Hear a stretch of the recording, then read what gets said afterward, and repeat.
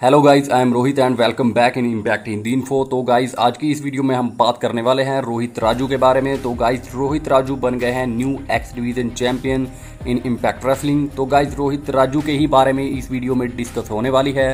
तो चलिए गाइज़ शुरू करते हैं वीडियो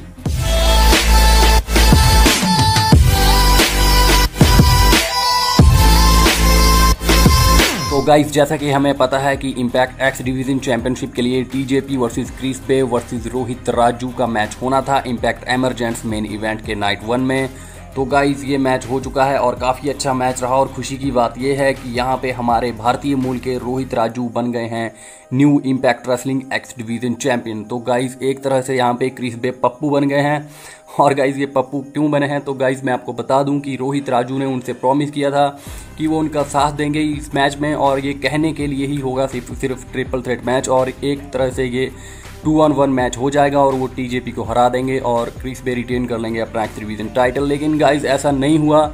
यहाँ पे रोहित राजू ने थोड़ा सा दिमाग लगाया और उनके ऊपर अटैक कर दिया और रोहित राजू बन गए हैं हमारे new Impact wrestling X division champion और संजय दत्त के बाद वो दूसरे भारतीय मूल के रेसलर बन गए हैं जो कि एक्स डिवीज़न चैंपियन बने हैं इम्पैक्ट रेसलिंग के अंदर। गाइज़ इस मैच के बाद काफ़ी सारे इंडियन फैंस खुश होंगे इस मैच में और ये मैच जो है वो याद रखा जाएगा। इन इंडिया के हिसाब से ये एक ऐतिहासिक मैच बन गया है क्योंकि गाइज़ यहाँ पे हमारे रोहित राजू बन गए हैं।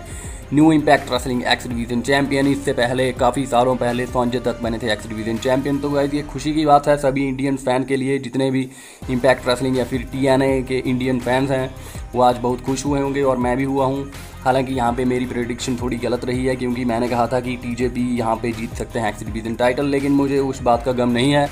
यहाँ पे खुशी है कि रोहित राजू बन गए हैं new Impact wrestling X division champion और जब रोहित राजू का डेब्यू हुआ था इम्पैक्ट रेसलिंग के अंदर, उस टॉपिक पे भी मैंने वीडियो बनाई थी तो उस वीडियो का भी लिंक मैं लास्ट इस वीडियो के लास्ट में राइट साइड को आपको स्क्रीन के ऊपर मिल जाएगा, आप उस वीडियो को भी देख लीजिएगा, जिन्होंने नहीं देखी है। तो गाइज़ फ़िलहाल तो अभी इस वीडियो में इतना ही, लेकिन मैं जल्दी ही Impact wrestling emergence night one की जो हाईलाइट्स है और रिजल्ट्स है, उसके ऊपर वीडियो बनाने वाला हूँ। कुछ ही घंटों में वो वीडियो भी आने वाली है। तो आज इस वीडियो में इतना ही। जल्द मिलते हैं अगली वीडियो में। धन्यवाद।